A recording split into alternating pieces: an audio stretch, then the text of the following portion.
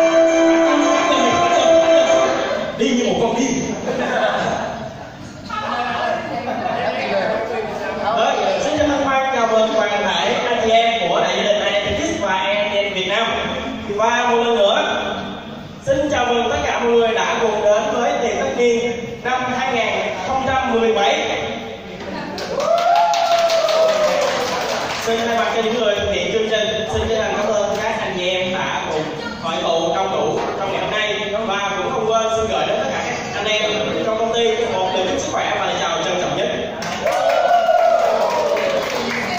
Anh chị em thân mến, hiện tại trong giây phút này đây không còn lâu nữa chúng ta sẽ được chuyển qua thời khắc thời khắc của năm 2017 và chắc chắn rằng chúng ta sẽ để lại phía sau đó những giây phút của năm 16 vừa qua. À, và chắc chắn rằng trong năm 2016 vừa qua đã có rất nhiều điều những biến động à, tốt và cả những biến động không tốt à, ảnh hưởng rất hoặc nhiều đến tất cả à, các anh em trong công ty.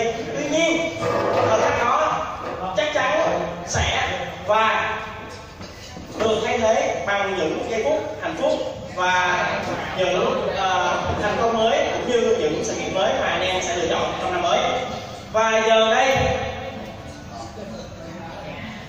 còn chơi nữa. Xin mời tất cả các anh em hãy cùng nâng ly và cùng chúc nhau những năm mới những câu chúc thật tốt đẹp và thật